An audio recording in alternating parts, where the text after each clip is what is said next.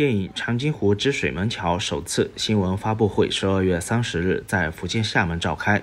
出品人及总制片人于东，总监制黄建新，监制及导演徐克，领衔主演吴京，主演朱亚文出席发布会。当天，于东透露，《长津湖之水门桥》无论是场面还是演员表演，这部大结局都比前作更加精彩，更具可看性。吴京在现场也分享了影片拍摄的艰辛。第一天就是拿了四个风炮对着我、千玺还有李晨，然后呢，徐克导演就趴在雪地上给我们示范，那个风炮吹在脸上，我们我们那天夜里放了一肚子屁，全是喝风，然后导演还趴在地上，一直拍到三点，然后导演说啊，要放宵夜了吗？我不饿呀。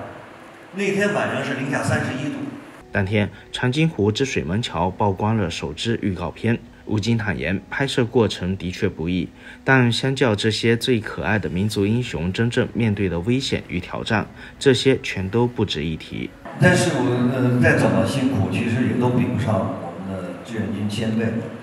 我们是有保暖衣的，我们是有帐篷的，我们是有热饭热汤的，是有后勤保障的。是我们是有后勤保障的，而那个时候，志愿军的前辈们，他们。单衣单裤，只有一个土豆，就这种情况还要冒的是真正的枪林弹雨，我们只是有一些炸点是安全的，所以真的我们，越每次回忆这些历历在目的这个这个片段的时候，真的是特别的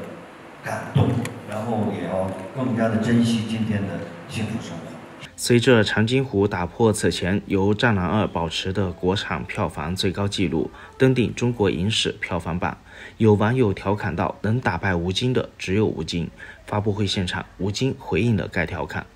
这是我一部终生难忘的戏，呃，不存在什么吴京打败吴京，呃，打败能打败吴京的只有吴京，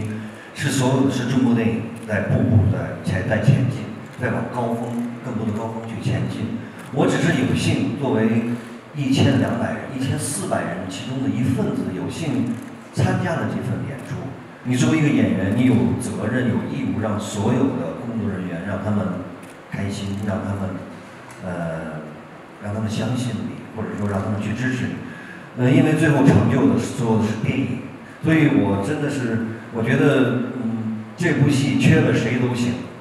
没有我也也一定会有这么高的票房成绩。据悉，电影《长津湖之水门桥》将在二零二二年与观众见面。